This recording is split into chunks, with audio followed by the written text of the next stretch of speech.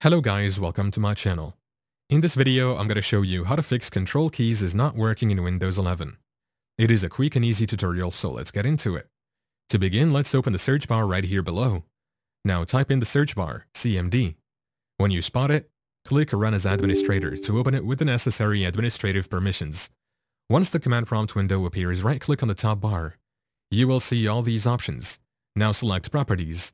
In the Properties window, look for the option to enable control key shortcuts and tick the box next to it. Tap on OK to confirm, and then close the window. After that, in order to apply the changes, just restart your computer and the issue should be resolved. If that didn't quite do the trick, updating your keyboard drivers might just be the solution you need. Click the Start menu, type Device Manager, and hit on Open to dive into it. In Device Manager, expand the Keyboard section. Right-click your keyboard and select Update Drivers. From there, choose Search Automatically for drivers to let your system find and install any available updates. Once that's done, restart your computer to apply the changes.